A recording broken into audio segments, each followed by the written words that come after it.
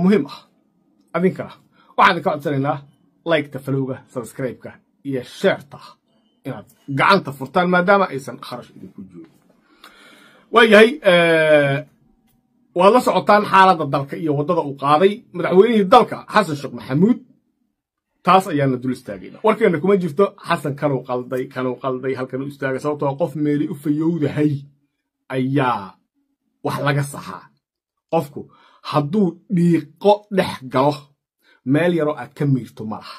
Waa inaad isagoo dhan dhaqdo ama muxuu ahay aad tidhaah nin waa nijaasowdaye ordoo iska baxa. Waxaa weeye marka ninkaasu dhiiquu dabaashay waddada uu ku socdana waxaa jumlad yar ku soo koobay asiyaasi cabqari cabdiraxmaan cabdishakuur warsame. Wuxuuna yidhi xasan wuxuu la mid yahay buu yidhi nin balli biyo u doontay ee biyihii ka soo waaye ka soo laabtay ee dhexda rag uga hor yimid ee la weydiiyey balligii ka horina yidhi biyo kuma jirin.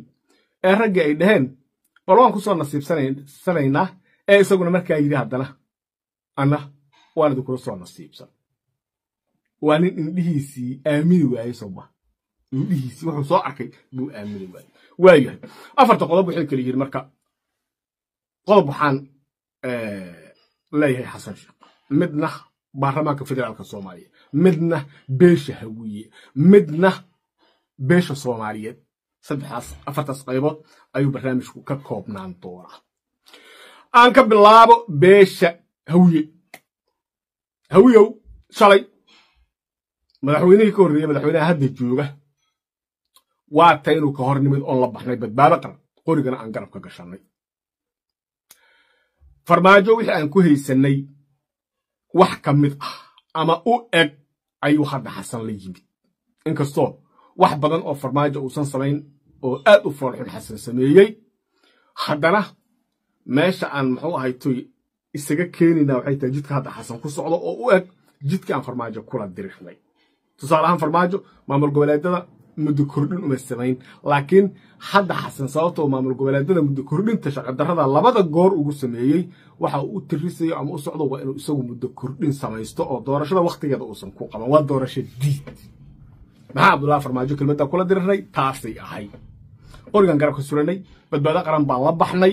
Waxaa weeye annagoo caasimadii ummadda deggan oo ay ahayd in sistamka aynu ixtiraamno ayaan dowladdii soomaaliyeed ee dhisnayd ku duulnay.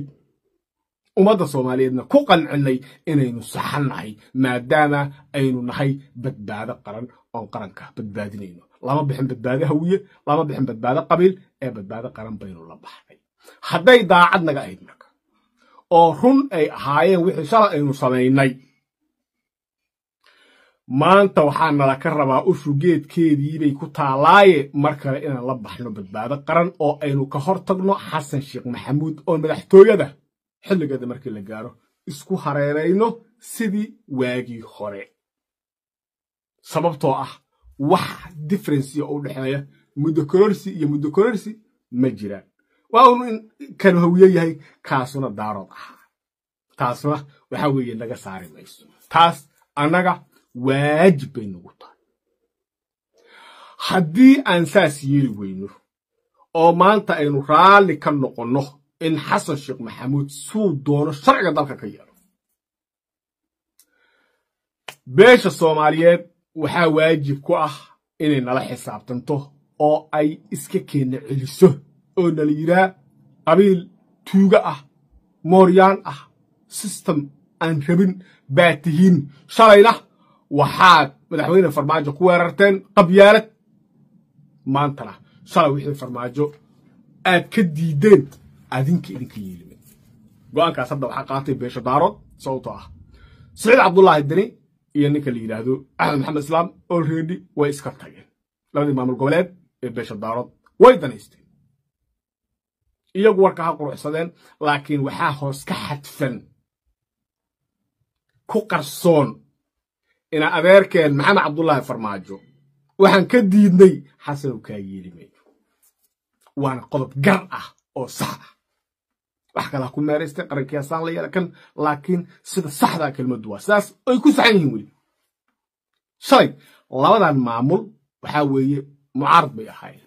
Farmaajo way diidanaayeen badbaado qaran waxaa weeye way taageersanaayeen oo dabaday ka riixayeen. Sababtoo ah kelmadda na midaysay ayaa waxay ahayd ma doonayno muddo kororsi badbaado qaran saasaa lagu bixiyey. Shalay marka in adeerkood waxay ka diideen ile waxaa layidhi gacanu garabay gadaal u gashay madaxweyne farmaajo ugu dambayn wuxuu noqonayaa nin daaroda walaalkood waxay ka diideen inay maanta xasan sheekh oo hawiyaa ka yeelaan suurtagal ma aha. Inay ka diidaanna way ku saxan yihiin go'aankaas beesha daarood way qaadata laakiin waxaa lala yahay dir iyo digl iyo marfle iyo beeshii shanaad war adinku dalka miyaydaan wax ku maxaad la aamusantihin go'aanka daarood qaatay maad la qaadataan. Maad iska keenna celisaan haddaynu nahay hawiyi maad iska keenna celisaan. Shalay wixii aan ku diidnay. Maxamed cabdullahi farmaajo? Haddaan maanta xasan rabna inaan ku taageerno maadna dhasaan tuuga tuuga dhashaatiin oo soomaali laga tashato ileen haddii inta kale isu tagto hawiya dhibic buu noqonayaa waxaa weeye beesha soomaaliyeed waxaan leeyahay waa inay naga tashato. Haddii aynu ku soconno ama ku taageerno xasan sheekh waxa uu wado oo aynaan dib u abaabulin badbaado qaran kale soomaalida intaasaan leeyahay. Xasan sheekh maxamuud waxaan leeyahay xasanow shalay qori baad garab ka gashatay. Madaxweynihii jamhuuriyadda federaalka soomaaliya ee soomaali dooratay baad ku duushay. Ciidankii qaranka soomaaliyeed oo calankii soomaaliya halkaas ugu dhegan yahay baad intaasoo askari ka dishay. Si fiican ii dhegayso askartii qaranka haramcad iyo gorgor intaasoo askari baad ka dishay. Hotel maa'idda markaad ka dagaalamaysay iyo mirinaayo markaad ka dagaalamaysay labadaba. Sababta aad u dagaalamaysay waxaad ka dhigaysay askar si khaldan loo adeegsaday oo muxuu ahaytay si khaldan ku dhimanaya maamulka meesha joogana responsibilityga uu qaadayo maadaama uu isagu sharci darro ku sito waxaa weeye marka labay mid noqonaysaa inaad shala saxnayd ood maanta khaldan tahay mudan tahayna in layska kaadiyo oo shalay wixii aad nala samaynaysa aanu kugu samayn iyo inaad shalay khaldanayd oo lagugu maxkamadeeyo askartii soomaaliyeed ee gorgor iyo haramcad ee aad laysay. Ciidankii qaranka soomaaliyeed ee aad laysay lagugu maxkamadeeya. Xataa annagana lagu maxkamadeeya ila ma og tahay dembiga qofba in buu ku leeyahay. Rag afkay ka taageerayeen anigoo kale ah. Ragna waxaa weeye qoriga ayay ridayeenoo ciidanka xabadda ridayay wateen adugu aad ka mid askartii aad laysay. Ee qaranka soomaaliyeed in lagugu maxkamadeeye muxuu ahaytay lagu qisaasay noqonaysaa. Haddaad tidhaahdo maanta ayaan saxanahay. Maantay ayaan saxanahay. Haddaad tidhaahdo automatically waxay noqonaya farmaajana shala inuu saxnaa. Marka nin saxan oo qarankii hogaaminaya haddaad inta ka hortid ciidanka qaranka laysay maxkamadda lagu soo saarad mudan tahay marka labada mid dooro. Inaad shalay khaldanayd oo muxuu ahaytay askartii muxuu ahaytay qaranka soomaalida aad laysay lagugu maxkamadeeyo iyo in maanta aad khaldan tahay oo aad dib uga laabatid waxa aad wato xasanna intaasaan leeyahay. Baarlamaanka federaalka soomaaliya waxaan leeyahay. Doqon doqonu dibirkaba daashaha noqona madaxweyne maxamed cabdullaahi farmaajo ha saxnaado hase khaldanaadee ayaad shalay gacmaha u taagteen ayuha almunaafiqiin gacmahaad u taagteen. Waa kuugu darnay laba sanaan ku darnay baarlamaankaa shaqaynaya maxamed mursal wixii uu ka hadlaya waad ogeyday baarlamaanku maanta ku jira soma fifty percent raggii shalay gacmaha taag taagayey. Ee wixii ay maarata u codeeyeen meel marsii waayey baarlamaanka ay dhex fadhiyaan waddadii horey ka xigneeda shalay aad ku soo khaldanteen ee haddana kaliftay wixii aad adinku meel marisan inaad dib uga laabataan waxaa weeye mar kale ha ku dhicina xasan waxaan arkayay isagoo idinqallarsanaya arbacadii mise arbacadii baan arkayey oo leh berri ma qabaysa? Mase waa jimco. Aniga waa lee yeelaahay dhib ma lehe cunug abooto koris aad u malaysa waa lee yeela ad u yaabta? Ha aniga waa barqadaydaan iska soo qorahaah waa lay aqbalaahay dhib ma lehe aniga waa lee yeelaahay. Cunug ayey koris oo wuxuu ku dhegaba loo dayn jiraad moodaa. Waxaasuu dadka la soo hor istaagay. Waxaa weeye ninkaas waxa uu la nacnac leeyahay haddaad aqbasha. Muxuu ahay toy aad sharciyada khaldane uu la ordayo u meel marisaan wixii ka yimaado dhibaato ah adinka ayaa responsible u ah.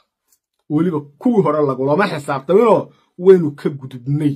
Waagii badbaado qarane maanta lagama gudbayo ayuhalmujrimiin haddaad isku daydaan inaad xasan sheekh ku raacdaan waxa sharci darradahay u wado. Waxaan leeyahay ka fiirsada waxaan leeyahay baarlamaanka markaas markuu yimaado waxaad dhahdaa madaxweyne dalkan burbur ha u horseedin.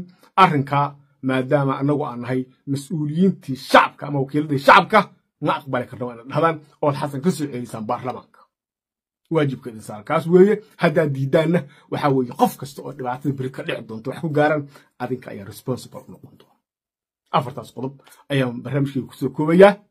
Adinkuna fikraddiina ka dhiibta. Hada wabilah towfiiq wasalaamu calaykum waraxmatullahi